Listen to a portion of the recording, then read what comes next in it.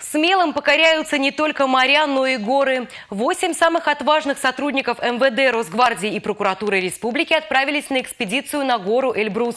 Поход посвящен трудовому подвигу строителей Сурского и Казанского оборонительных рубежей и 85-летию образования службы ГАИ ГИБДД. Подробнее в материале наших коллег из пресс-службы МВД по Чувашии. Проводы экспедиции состоялись в Музее истории МВД Республики, где с напутствием к альпинистам в погонах обратились руководители трех силовых ведомств. Генерал-майор полиции Виктор Шмитков, государственный советник юстиции третьего класса Андрей Фомин и полковник полиции Андрей Расчетов, чьи сотрудники вошли в состав команды, восходящей на Эльбрус. Им предстоит преодолеть 5462 метра и покорить самую высокую вершину России, установив там памятный знак – посвященный трудовому подвигу строителей Сурского и Казанского оборонительных рубежей и флаги силовых ведомств.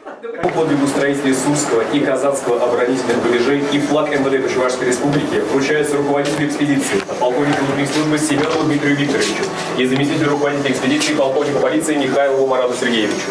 Все члены экспедиции прошли учебно-тренировочную подготовку.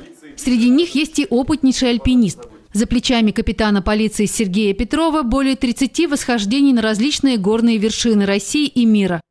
Воспитанник специального православного детского дома Костромской области увлекся горными походами и навсегда заболел любовью к путешествиям еще в детстве. Сергей и его соратники – настоящий пример для подражания. Мне хочется, чтобы то подразделение, которое шествует над нами – это спецназ Управления по контролю за оборотом наркотиков и заместитель командира Прокопьев Андрей Викторович да. с собой захватил наш вымпел. Герои живы, пока мы помним о них. Пусть этот вымпел школы тоже будет с вами на Эльбрусе. Удачи!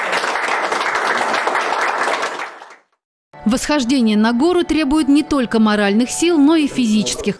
Это отметили и руководители силовых структур, рассматривая снаряжение альпиниста – за плечами каждого участника будет рюкзак весом минимум 25 килограммов, плюс специальная экипировка. Но стражи порядка уверены, что справятся, ведь преодоление трудностей – это часть нашей профессии.